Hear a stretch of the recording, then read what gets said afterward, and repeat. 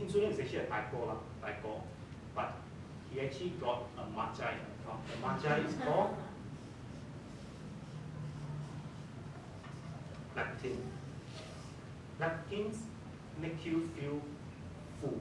Okay, so the best way to describe this, right, I will show you this, this number. Now, this is called uh, Wagyu. You go to a restaurant, you have A5 Wagyu, pay a lot of money, right? Halfway through your steak, uh. Halfway through, uh, that kenyang, you, you pay close to a thousand ringgit, but you're very full halfway through. So what happened there? This is the leptin effect. Leptin effect.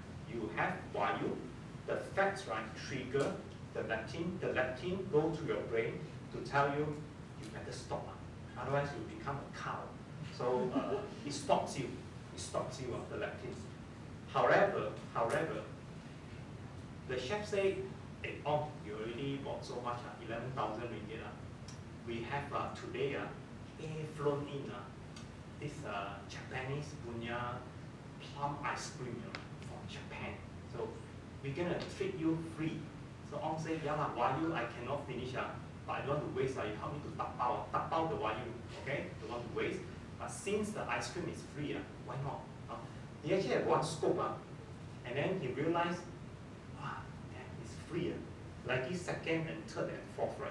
So what's happening in your body, right? Do you realize uh, the insulin is a typo, you know? Insulin is a typo. So when ins when your leptins comes, if you actually have uh, trigger your insulin further, the insulin will actually overcome the leptin. So the leptin actually have to listen to the typo.